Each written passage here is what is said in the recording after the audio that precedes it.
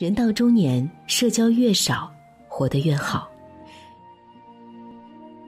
在很多人的观念中，一直有这样一个真理：朋友多了，路好走。慢慢的，随着年龄的增长，我们逐渐发现，当我们遇到困难时，真正可以帮助我们的朋友寥寥无几。不是存在通讯录里的好友都叫朋友。什么才是真正的朋友？如何交到真正的朋友？如何处理你与朋友的关系？今天我们来推荐莫拉格巴雷特的精简社交，帮助大家运用人际关系可视化图谱来解决人际关系中的问题。接下来，让我们一起来阅读这本书，学习用系统的思维去认识并解决人际关系中的难题。人际关系就是一个生态系统，世界永远处在变化之中，人际关系也是如此。上一秒和你并肩作战的同事。下一秒可能成为你的竞争对手。面对这种变化，我们首先需要做的就是正确认识自己的人际关系。有时我们之所以陷入困境，是因为无法从杂乱的环境中整理出真正有效的人际关系。因此，作者将人际关系比作生态系统，将我们周围的人划分为四类：同盟者、支持者、竞争者和敌对者。所谓同盟者，就是在危难时无条件捍卫你的人；而支持者，只有在他们获利的情况下才会站在你这边。至于竞争者，可能是背地里挖你墙角的人；敌对者，顾名思义，就是处处与你唱反调的人。为了进一步区分，作者举了一个例子说明。他说：“当同事们在茶水间里讨论关于你的八卦。”这时，另外一位同事碰巧听到了这个对话。假如这位同事啊打断了这个谈话，阻止了谣言的传播，事后他还协助你采取行动澄清事实，那么他就是你的同盟者。假如他以一种沉默的态度去关注事态的发展，他可能是你的支持者。如果他为这个恶意的坏话作证，那么他就是你的竞争者。如果他不仅火上加油，还大肆传播这个谣言，他一定是你的敌对者。每个人身边都有这四种类型的人存在，只有处理好这四种人际关系，我们才能够改善自己身处的职场人际环境。要做到这一点，我们需要从以下三个方面去进行：首先，要认清人际关系环境及自我评估。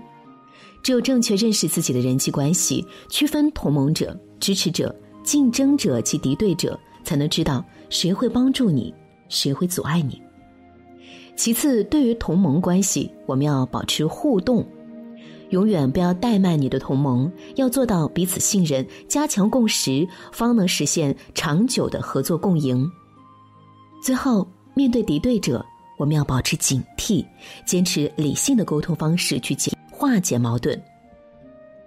第二个方法，情商使你成为当下的聪明人。如今，越来越多的研究表明，一个人取得成功的决定性因素不仅仅是智商，还有情商。情商俗称 EQ，是指人们对情绪的控制能力。生活中那些不会说话的人，经常得罪人的人，通常会被我们贴上一个标签：情商低。而一个高情商的人是什么样的呢？他们不仅能够有效的控制好自己的情绪，还能够通过利用情绪来提高工作效率。高情商的人一般都富有同理心，他们懂得换位思考，懂得了解别人的需求和感受。曾经有一个这样的团队，符合竞争和敌对关系的所有特征：言而无信、背后说坏话以及忽视邮件等等。可想而知，在这种工作环境下，工作效率是前所未有的低。后来，成员们开始试着抛弃成见，学着换位思考，相互体谅。仅仅用了几周的时间，这个团队从紧张的敌对关系转变为稳固的支持者关系，工作成果也因此有了显著的提升。所以，当你抱着同理心去理解并回应他人的需求和感受的时候，你将会赢得。更多的信任，富有同理心有助于营造良好的沟通氛围。而学会理解对方，则是影响交流能否获得成功的关键因素。相信大家都遇到过这样的情况：面对糟糕的现实，你会忍不住感叹：“我就是这样”，或者“我别无选择”，对我而言，他始终很难相处。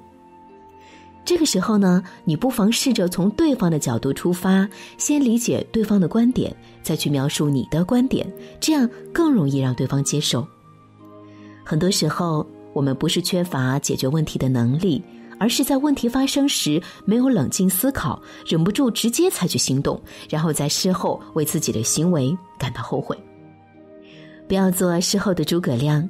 用理性的思维去思考问题，用友好的方式去化解矛盾，成为当下的聪明人。此后可以改善我们人际关系的方法是：改变从了解身边人开始。同事、家人、朋友是我们重要的身边人，所以他们是我们不可忽视的人际关系。处理好这些关系，是改善人际关系的重中之重。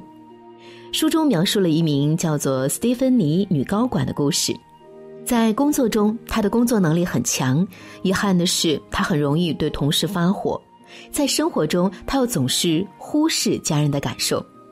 为了帮助她，作者安排她与这些人进行了一次谈话，使她重新认识了自己的身边人。于是，她开始反思并调整自己的行为。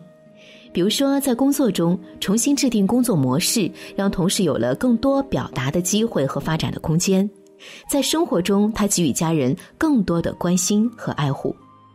一段时间后，他的生活发生可喜的变化，与同事们的交流更加顺利，工作效率有了显著的提升，而家庭生活也愈发温馨美满。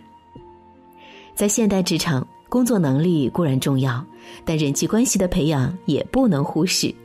如果像斯蒂芬妮那样只知道埋头工作，但是却忽略身边人的感受和想法，那么即使工作能力再强，工作效率也会大打折扣。作者建议我们定期要重新审视这些重要的人际关系，然后啊，根据先后的顺序进行调整和改变。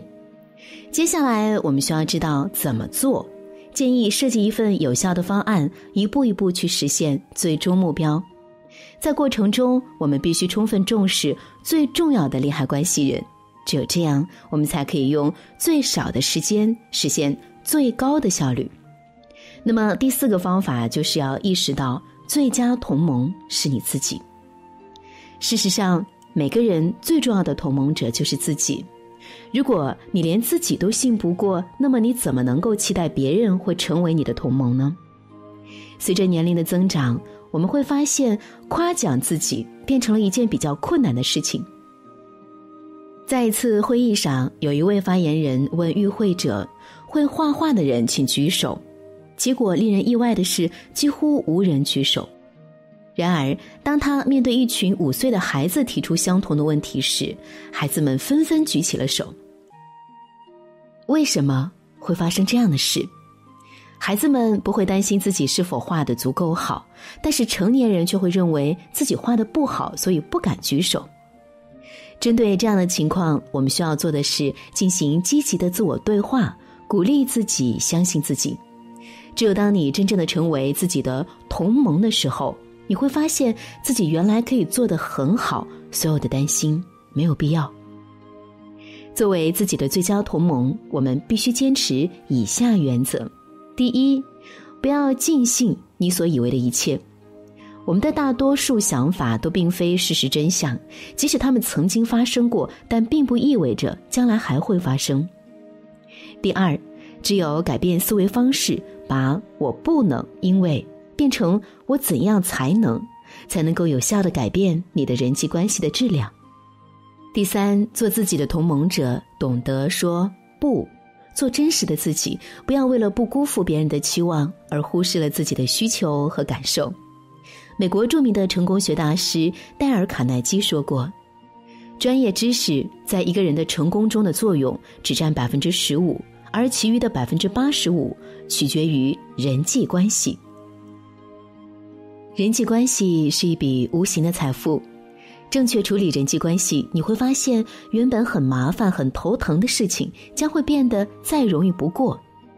改善人际关系，并不意味着我们需要去取悦所有人，但是至少我们要对自己的人际关系有一个系统的认识，知道哪些人是值得你去信任和依靠，哪些人是你需要提防和对付，然后妥善处理这些人际关系。人际关系的建立就像是一个挖井的过程，付出的是一点点汗水，得到的是源源不断的财富。相信掌握良好的社交能力，也能帮助你化解很多困难，让生活和工作从此更上一层楼。